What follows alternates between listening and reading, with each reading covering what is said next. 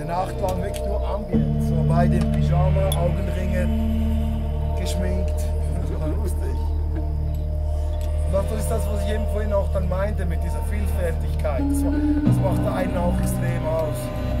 Es gibt nichts, oder vorhin, wo, wo du dran warst, habe ich gesagt, ja, beweg mal deinen Arsch, oder? Hey, wenn du selber nicht zu deiner Musik tanzt, wie willst du, dass die Leute zu deiner Musik tanzen? Das ist die Frage. Weißt du, kann aber gar nicht manchmal nicht. Ich finde es manchmal auch, wenn man DJs so die keinen Millimeter sich bewegen, ist so, hä, wie geht das? Das mag ich nicht so. Also, ja, gut.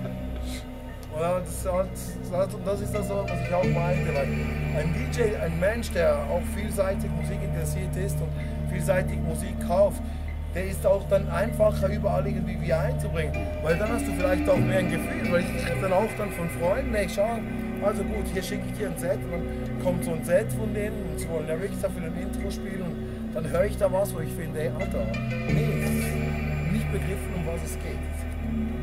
Ja, ich könnte jetzt hier eine Mail aufmachen von einer, der sich beworben hat für oben.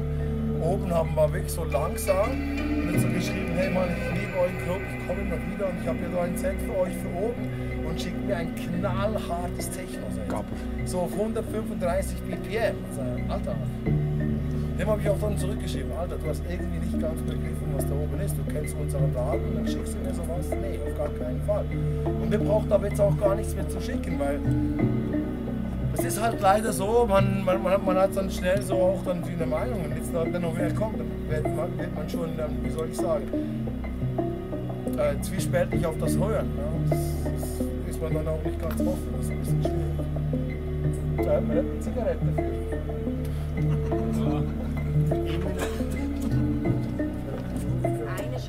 Hast du gehört? Ja, sowieso, das ist eh klar. Es war aber geil, die ganze Nacht so spielen. Da waren Leute da, die sind nicht einmal runter die ganze Nacht. Die sind einfach bei uns oben geblieben und haben das sich reingezogen. Alle eingeschlafen wahrscheinlich. Nein. Das ist schöne Musik. Das ist großartige Sache. Warte, über Musik, über Musik muss man nicht stre- streiten. Oder würde ich jetzt sagen, über den EDM-Bub ist schon gegangen. Da?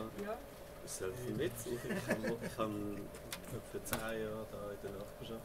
Ah, Entschuldigung.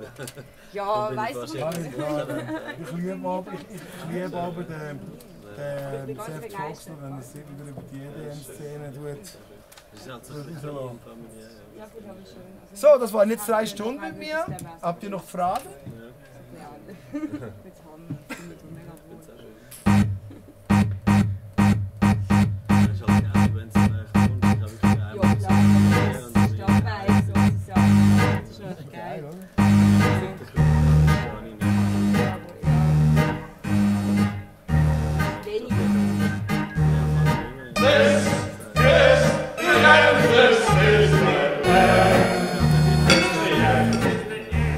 Das ist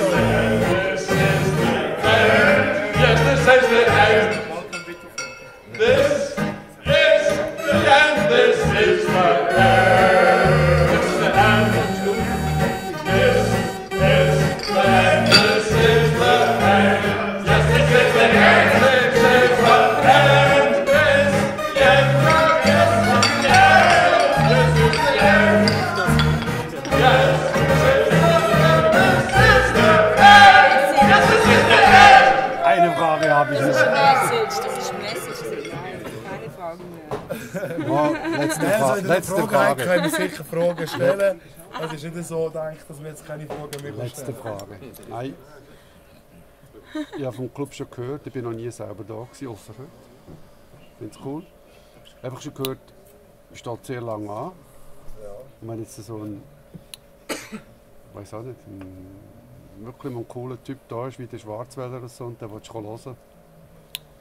Also jetzt das Samstag ist auch Part ja, von, von meiner, ähm, Lek- meiner Stunde ist ja noch dazu, dass ihr am Samstag könnt ihr ja kommen, wenn ihr spielt. Ich mache ja das Intro am Samstag. Da hat mir Steve gesagt, dass es Part ist. Wenn ihr wollt kommen, kann ich euch anbieten, was vom Kurs ist, dass ich dass ihr den halben Preis würdet zahlen den Samstag, dann wären ihr auf einer Liste. Und ich müsste einfach die Namen haben von euch. Am besten macht ihr das über den Steve und dann könnt ihr dieses Wochenende so kommen. Wegen dem Anstehen, es ist ja so, dass wir das hier einfach auch sehr äh, demokratisch halten, First Come, First Serve. Klar, es gibt Leute, die haben Member. Den Member von uns kann man nicht erwerben, da gibt es einfach für Leute, die wir schon lange kennen. Wir sind ein kleiner Laden.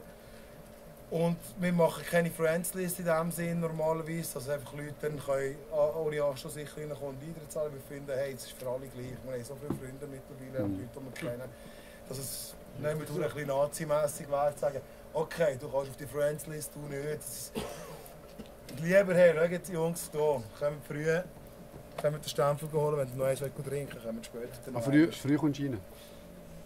Es gibt keine Garantie. Schau, am Schluss tut die Selektion draussen immer entscheiden, so wie in allen anderen Läden auch. Durch das, dass wir halt auch ein kleiner Laden sind, haben wir sicher auch strengere Selektion. Das ist aber auch gut. Wir haben sehr wenig Stress im Laden. Wir gibt es seit fünf Jahren und wir haben vielleicht fünf Schlägereien gehabt bis jetzt hier drinnen. Und ich muss einfach sagen, da muss ich einfach sagen, es ist schön. Wir haben sicher auch schon bei der Selektion Fälle gehabt, wo Leute nicht reingekommen sind, die sicher kein Problem wären, die total easy wären. Aber äh, es ist halt so, wie es halt ist. Ich bin auch schon nicht in die Panne reingekommen. Hätte mich nicht wollen reinlassen. Ich habe es dreimal probiert. Das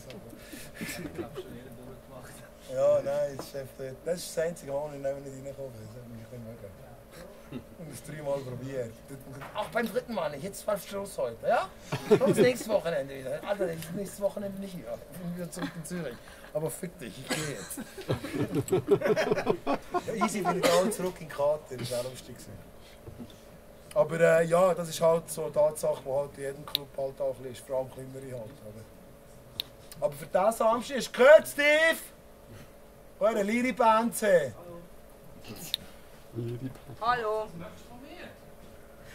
Es darf doch immer wissen, dass wir zusammen sind. Ach so, ein Liri Benze, verreckt. Und wie haltet ihr das aus jetzt mit ihm so die ganze Ja, jetzt haben wir ja Ruhe gehabt. Darum ist er ja an der Bar.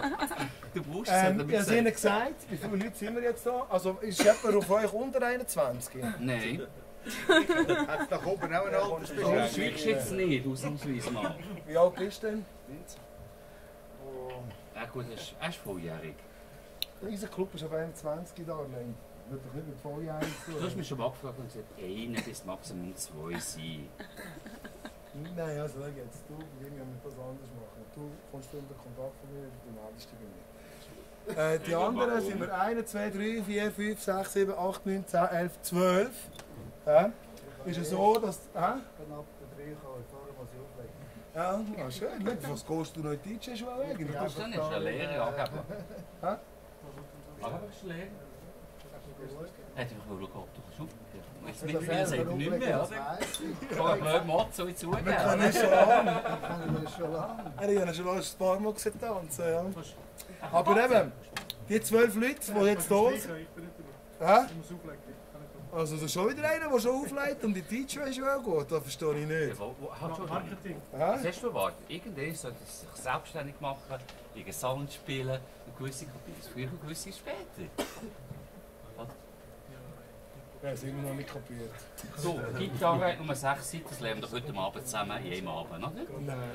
das meine ich aber auch. So, jetzt die, die den Knopf auftun, die schauen, dass sie schon in der Bar ist, machen etwas können üben können, Ja, ich sammeln. frage nur. Also, für mich ist das halt, allem, ich finde ja das gut. Ich finde, sonst würde ich ja nicht mitmachen.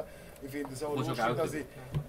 Ja, das ist schon wieder mit dem Scheiß. Klar. Du ja auch. Du, du ja auch. Du ja auch. Oder du ja auch, oder? Also, Was nie kostet, ist nicht mehr. eben. Nein, aber es ist einfach so, ich, also, darum ja, jetzt mir auch nicht äh, so strikt das Programm zusammengestellt, wie auch viel wichtiger finde ich, was sind eure Fragen? Was sicher nach 22 Jahren, wo ich auflege, äh, habe ich sicher einen gewissen, oder 21 Jahre, wo ich, wo ich vor Publikum auflege, habe ich sicher einen gewissen Erfahrungsschatz, den ich mitgeben kann. Und das sind die Fragen, die ihr einfach mit mir könnt stellen und für das bin ich da. Wenn ich erklären auf vier zählen oder dann so und so. Ja, Ich kann schon bei zwei, ich kann schon bei zwei Tracks genau einen perfekten Mix zeigen, wie wir das machen können, oder? Aber dann kann genau so perfekt auch anders rauskommen. Und bei einem anderen Track sieht es wieder auch ganz anders aus. Und je nachdem, wie man die Tracks zusammenmischt und welche, ist es wieder total anders. Also, da gibt es keine Formel. Das Einzige, was da ist, ich kann euch Antworten auf Fragen. Und, Also, ich stelle eine Frage. also, Ich hätte gerne, dass gewisse dürfen ein Set vorbereiten, das hier ins Haus passt.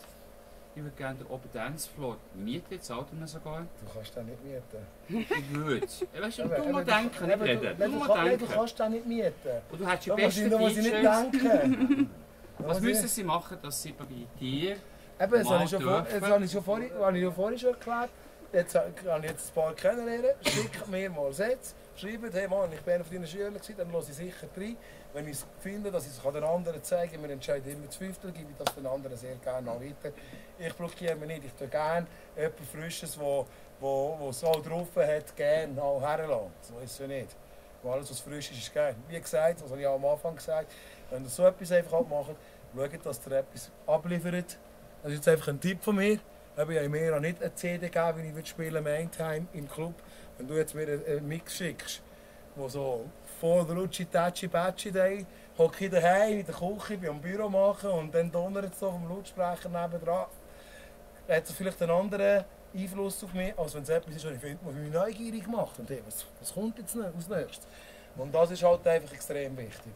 Oder in dem Moment, wo dir eigentlich jemandem etwas abgeht, müsst ihr ein Produkt ab, abliefern, wo, wo Spannung erzeugt, wo interessant ist und nicht etwas, wo, wo schon hundertmal gehört ist worden. Und das ist ja heute das Wichtige. Halt, oder? Wir haben heute so schnelle, direkte Wege zu der Musik, dass der wirklich etwas, weißt, man merkt, jemandem, der mir einen einen Promo-Mix schickt, ein Kollege, so, ich merke sofort, wenn ich das höre, ob sich die Person e- etwas dabei überlegt hat, Gedanken gemacht hat, wo sie das gemacht hat, oder ob es einfach jetzt schnell zeigen ist, was für ein geiler Hengst er ist. Der geile Hengst, der er ist, das kann ich dann nachher zeigen, wenn er das Richtige macht, im richtigen Moment. Das, ist, das, das, das sind so die, die Dinge und das ist äh, mega schwierig. Ein paar von euch können es. Es ist nicht so einfach, manchmal immer so ein bisschen wieder reinkommen. Wenn man dann immer drin ist, ist man auch richtig drin. Das ist halt einfach so. Aber ich kann euch da einfach wirklich den Tipp geben. Der Kontakt über Steve ist da. Ich bin offen, ihr könnt mir gerne Sachen schicken. Bitte jetzt nicht alle auf auf gleichzeitig. Und bitte, und, und, und, und, bitte nicht alle am nächsten Tag eine Antwort erwarten. Das ist auch so etwas. Geduld haben. Es kann sein, dass mir jemand etwas schickt. Ich sehe es, habe es abgeladen, es ist auf meiner Festplatte. Aber dann habe ich vielleicht mal drei Tage keine Zeit, mir jetzt in diesen Mix hineinzuhören. Und wenn schon natürlich am nächsten Tag auf Facebook schon kommt, und der Streitglas, du findest, dass es kommt, dann finde ich aber okay, oder? Das nimmt einfach mal okay. Es ist halt äh, manchmal ein bisschen schwierig, das Ganze. Es ist, äh, es ist schwierig. Es ist ja, so schwierig. Also, ich muss mal eins sagen, und ich sage es nicht gern. Du machst einen scheiß Job gut. Scheiß Job. das denke ich ab und zu Macht an. sehr gut und danke, dass wir Ja. da sind. Ist cool. Sehr schön, seid ihr da gewesen, hat Spass gehabt mit euch. Kann ich sagen. Ich werde jetzt mir einen feinen guten Nachtjoint genehmigen. Genau, ja, so. Und vielleicht... Ah, ich wollte noch etwas ja wollen zeigen mit dem Ableton Live, wegen, wegen dem, wie man es hört, oder? Wegen dem Versetzen von diesen 3 Millisekunden mit dem Gehör. Das können wir jetzt noch schnell machen.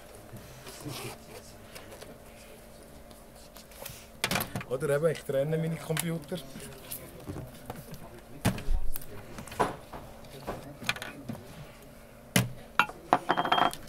Familie und Geschäft, oder? Immer schön dran. Also eine Traktor, eine Ableton oder wie? Äh, pro pro äh, Programm oder ein ein Mac. Nein, aber das ist mir halt wichtig, weil dann habe ich weniger Stress. Stress mit Musik das ist nicht gut. Das, äh, Vor allem wenn du abschneiden. so, jetzt mal schauen. Jetzt haben wir natürlich den Treiber nicht installiert. Da muss ich noch ein bisschen mehr anhängen. Wäre ein bisschen doof. Äh, wo haben wir da?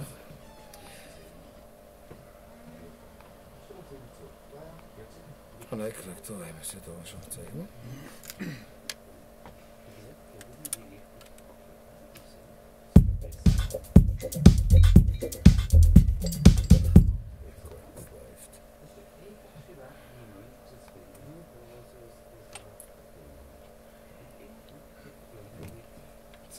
Festplatte nicht dran mit allen Sounds, aber ich nehme jetzt einfach Sounds von da. Es geht ja darum, die 3 Millisekunden, oder?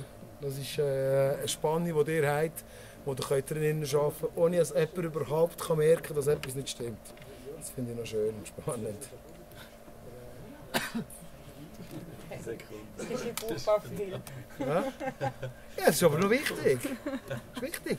Also es geht ja alles in Zeit, weißt du? Also zum Beispiel auch Bildaufbau, das ist bei den Fernsehen zum Beispiel so. Beim Bildaufbau ist es auch so, dass 3 Millisekunden dein Auge getrickt wird. Wir werden eh nonstop verarscht von unserem Hirn. Ja, das stimmt. Nonstop. Das verarscht uns nonstop und wir merken es nicht einmal. Das ist noch schön.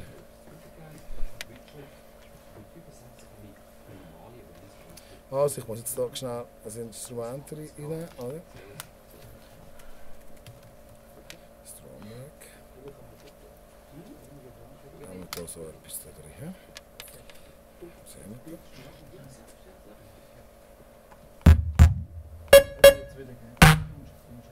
Ganz grusig. Also interessiert mich das überhaupt? Ja. Weil dann können wir das alles einladen. Also, jetzt haben wir hier, jetzt muss ich hier wieder den Drumrack nehmen. Wir tun den Drumrack hin, jetzt gehen wir wieder zusammen. Machen wir mal Kick. Mal Kick. Und mit dem tut man eben auch gerade beim Produzieren eben sehr oft gerne ein bisschen arbeiten. Also, das ist jetzt so Kick, Kick mal zum Anfang. Jetzt haben wir hier noch ein Snare.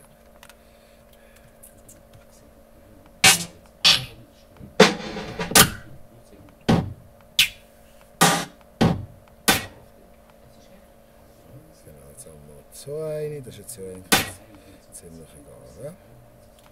Jetzt brauchen wir hier den Kick.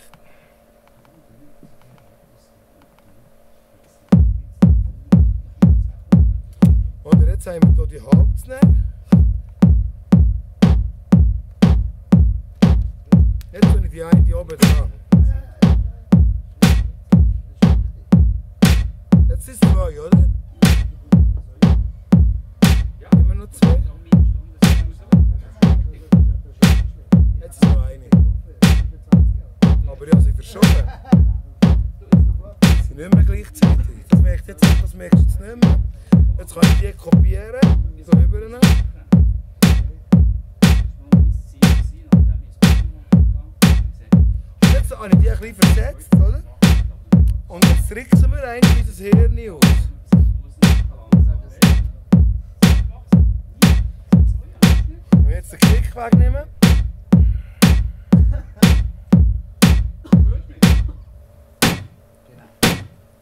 Die eins aber sie sind nicht gleichzeitig. Wenn ihr hier genau schaut, ist die eine ein bisschen verzögert und die andere kommt bisschen früher. Aber der Tag von eben, das ist jetzt eben das, was eben anfängt, Groove heissen. Das ist der Groove. Mit dem fange ich an von Groove bauen. Wenn ich jetzt auch einen Hi-Hat so rein.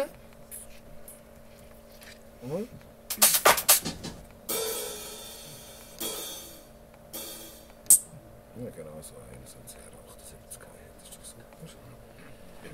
Jetzt, jetzt, jetzt, äh, oder? Das ist genau das, was eben Groove-Einstellungen machen. Der Hi kommt immer schön in die Mitte, oder? So. Jetzt ist das aber wie ein Maschinengewehr. Der Hi-Hat kommt immer genau gleich, oder? Und genau das macht man hier, indem man hier Grooves geben. Und das ist dann echt das, Jetzt hat sich das verändert beim Hi-Hat. Und genau das gibt ihm jetzt eben den Groove. Also das ist jetzt nicht der richtige, es jetzt einfach alles auf die Schnelle. ein bisschen.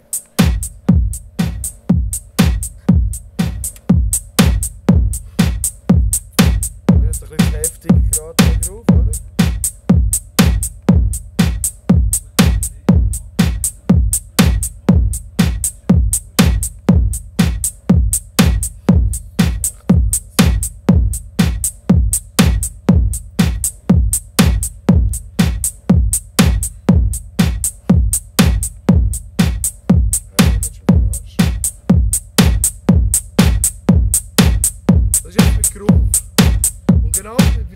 das geht eben auch beim Auflegen. Du kannst beim Auflegen kannst du mit dem verschieben manchmal. Manchmal ist es so, wenn es oben nicht geht. Zum Teil nimmst du den Kick raus, bam, und dann stimmt es plötzlich nicht mehr so ganz. Wo der Kick ist ja der haupttragend, der haupttragend Taktgeber in einem Track. Aber jetzt nehme ich den raus und dann habe ich hier ganz andere Schaffungen, ganz andere Groove vom einen Teil zum anderen. Dann plötzlich stimmt es nicht ganz. Du musst aber ein bisschen Schütteln und bam, dann stimmt es plötzlich wieder. Und obwohl es vorher zwei Minuten lang immer genau gestimmt hat, in dem Moment, wo der Kick rausnimmt, stimmt es nicht ganz. Und einfach die Groove-Einstellungen nicht stimmen, weil die beiden Tracks nicht im gleichen Groove spielen. Oder? Das ist, je nach Schaffung kann das ganz extrem sein. Und, und genau das ist das, was eben passiert mit dem Mixen dann halt auch. Und genau dort kann man auch ein bisschen ansetzen. Manchmal tönt es besser, wenn es nicht ganz hundertprozentig tight ist. Und es ist auch schön, wie sich der Sound davon verändert. Wenn das Zeug von aufeinander kleben oder dann wieder von sich von lösen. Das ist eben dann auch ganz spannend. Und schön. So, das ist jetzt das letzte Wort zum Sonntag. wir haben schon, wir haben schon einen Hit. Du produzierst mit, mit dem Ableton, oder? Ja, ich produziere mit dem Und äh, sag mal ein Stück von dir. Oh. Oh ja. Ja, jetzt sind wir aber jetzt. jetzt? Gut, jeder wollen abmischen. Ich habe jetzt da andere Sachen.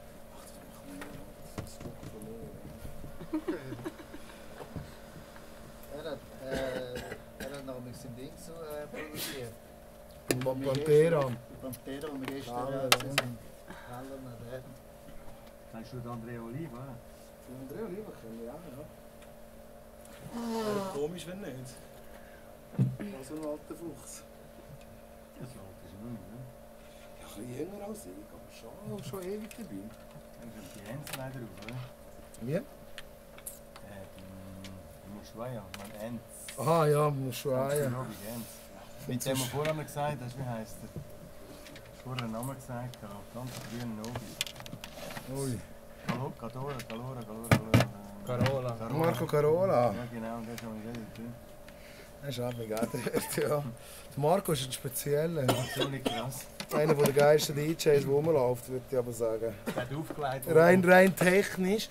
Aber es ist jetzt ein, ein, ein Wunder, weil, weil äh, der Typ zum Beispiel, der hasst Partys eigentlich.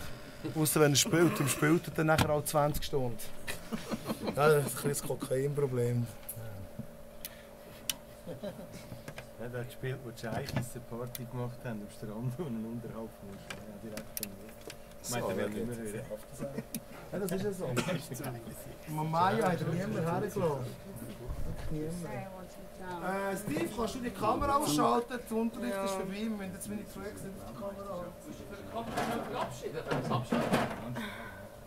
Ciao, Schönen Kamera. Abend, Schönen Abend miteinander. Ciao.